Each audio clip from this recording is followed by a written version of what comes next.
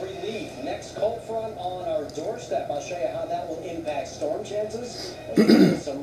What's up, Facebook? What's going on, man? I'm back after the hacking thing, but anyway, just wanted to kind of talk to you real quick about this church hurt thing. I'm I'm kind of baffled.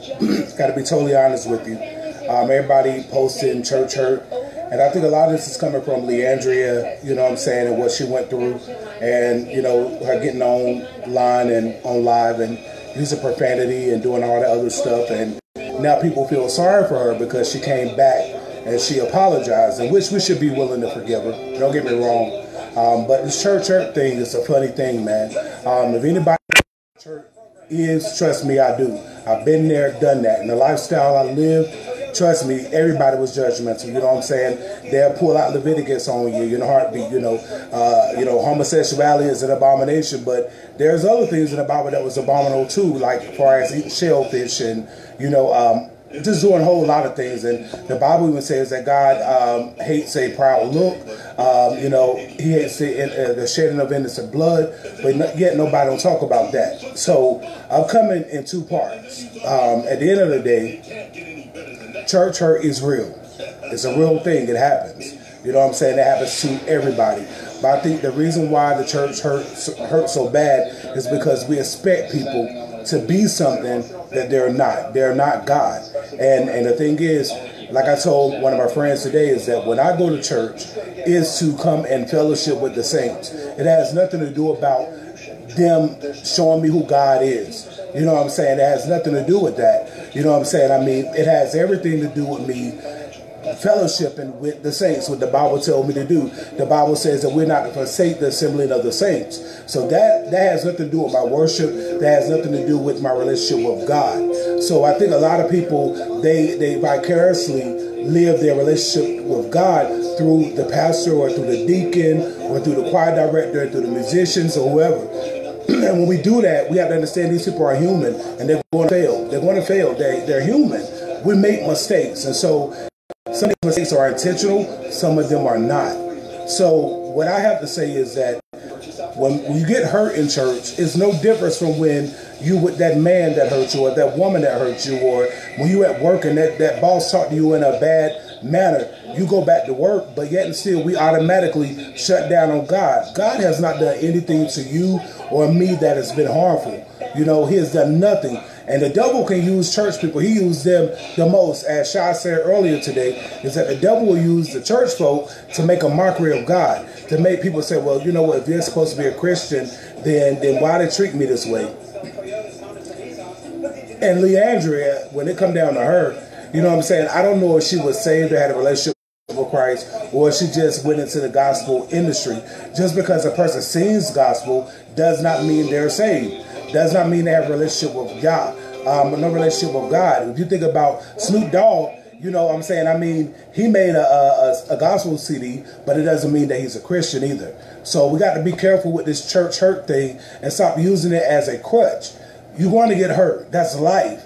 The Bible says that our days will be filled, filled with trouble. We're going to have trials and tribulations. So why are we tripping when somebody do us wrong? The Bible says just the fact that you are carrying the name of Christ, you'll be offended and persecuted for that name. But yet until people get so shocked when somebody says something to you that you don't like. Get over it. It's life.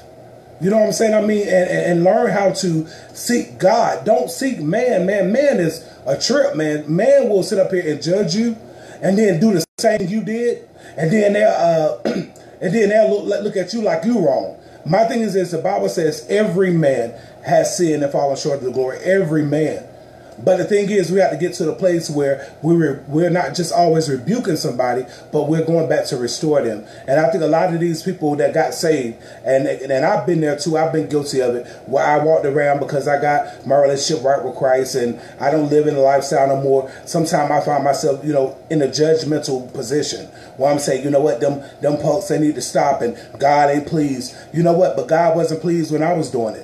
God wasn't pleased when I was turning up. God wasn't pleased when I was cursing. God wasn't pleased when I was fornicating. And truth be told, he wasn't pleased when you was doing it either. But his grace was sufficient for you. So we got to learn how to start giving people grace and stop sitting up here, you know, just, using these things as a, a crutch just to do what we want to do.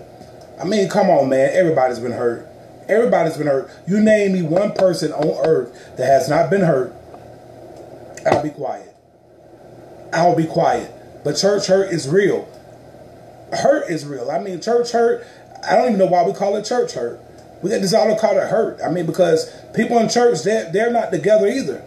They're going there to get better. You know what I'm saying? And, and it comes from us holding each other accountable. It comes from us loving on each other. It comes from us praising, praying for each other. It comes from us uh, esteeming others higher than ourselves. This is where this stuff comes from, but we don't do that though. We we we so busy looking up, looking down on somebody or turning our nose up at somebody. Like I said, man, Le- LeAndria, yes, she had hurt, but I don't know if it necessarily came from the church because honestly, I think she went into something she wasn't ready for. This is why we need to let the Holy Spirit draw people to Christ and stop trying to force them into Christ. I know a lot of people in the church for real, for real, especially the PKs a lot of them end up being what we call the worst children because they were forced to be something they did not set themselves out to do. Now, the parents did the right thing by teaching them and raising them in the ways. Don't get me wrong, but at the same time, that child got grown, they was able to make their own decisions. And I think sometimes people make decisions predicated on the the, the, the, the, feelings of others. I know I did that for a long time. That's why I will always be back out there in the world doing what I do because I would change for people. But once I realized that people really don't have a heaven or a hell to put me in, and they that they really can't wake me up in the morning and they can't put me to sleep at night. When I started realizing that they could not keep my health, man, I stopped worrying about what people think. Man, I really could care less. Like me being on live right now, I don't care about nobody having a problem with it because at the end of the day, I do what I'm commissioned to do. And once people get in their lane and know what they're supposed to do and know their purpose in the earth, then they won't be so busy trying to live vicariously through somebody else. So, I mean, this church hurt is real. This hurt is real. Let's just put it that way. It's real. But we got to stop using it as a quest too, because some of this stuff we inflict on ourselves. You telling me that you the pastor and you go out here and sleep with one of the members and you get her pregnant and somebody call you out on it and you're hurt because they call you out on it that they're wrong? No, you brought that on yourself, bro. And sis, if you go out here and you sleep with somebody um, and have premarital sex and you get knocked up and the pastor say, well, you can't usher no more. You somebody I'm hurt because he sat me down because I had premarital sex. There's nothing wrong with that. If you go to that job and you come in late and they write you up, do you go off on a job and you walk off the job? Of course not. When you when you go to work, you do what you're supposed to do. But we treat God like he's a jump off or something. I don't understand.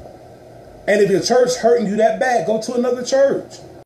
Go to another church, man.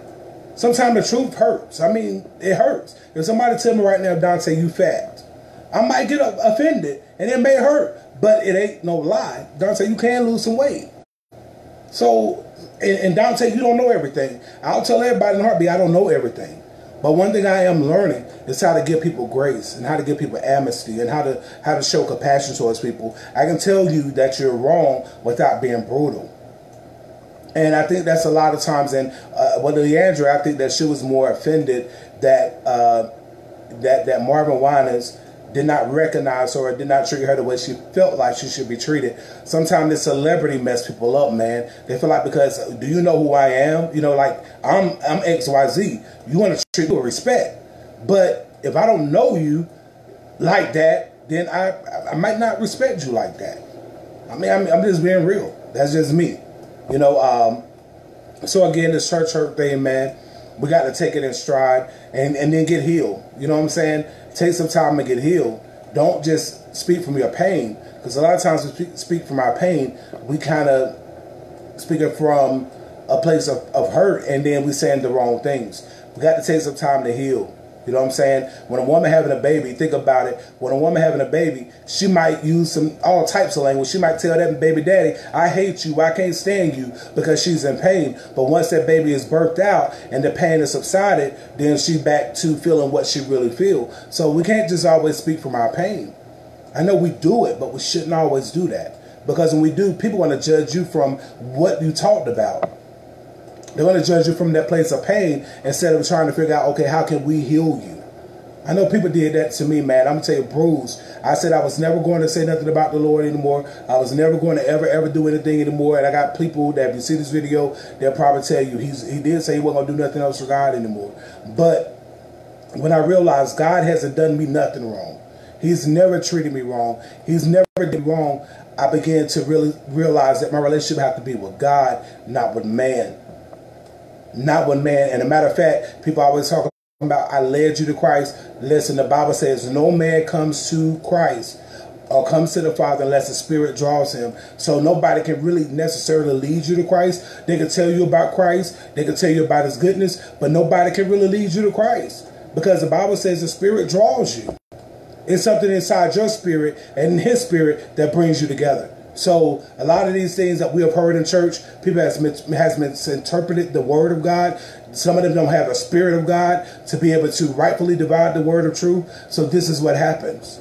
So man, like I said, I don't know everything, but I do know how it is to be hurt in a church setting. I know how it feels. I know how it feels when the preacher, you know, as soon as you walk in the room, they start preaching about your issue. You know they talking about you. But at the end of the day, you got to learn how to take it in strides. What I do now is do like a grown man. I eat the fish and I spit out the bones. I'm learning how to eat the fish real good now. Even the fine bones that may choke me up every now and then, I know how to spit those out as well. So we got to learn and we got to help each other get to that point. Ain't nobody so worthy at this point. Ain't nobody on this earth ever been heaven on this side. So we, we got to, we got to all push each other to get there. And like I say, how we get there by loving each other, by by by by telling each other the truth. But it's not always in a harsh way. You going to hell, man. Most people know they sin and they going to hell. They know that. So let's stop putting these labels on people. You're going to hell and you ain't saved and you ain't this or you ain't that because the Bible says, which were some of us, we all have been drunkards and whoremongers and fornicators and liars and adulterers. We've all done something. All of us have been ex something. So once we remember that it was the grace of God that saved us, then we'll start extending that grace. Because the Bible says in order to get mercy, we have to give mercy. And I think a lot of times we don't give it. Because we use that book to beat people with. And what, what, what Jesus told Peter, he said in John 21, he said, listen, don't beat, feed them feed my sheep. You got to get to the point to where the sheep is willing to walk into your in your hand. If you got some in your hand and willing to eat out of your hand, but if you beat the sheep, that sheep is going to always kind of be timid or going to run away from you. And this is what's happening to the body of Christ. People are running from the body of Christ because some of us are just too brutal.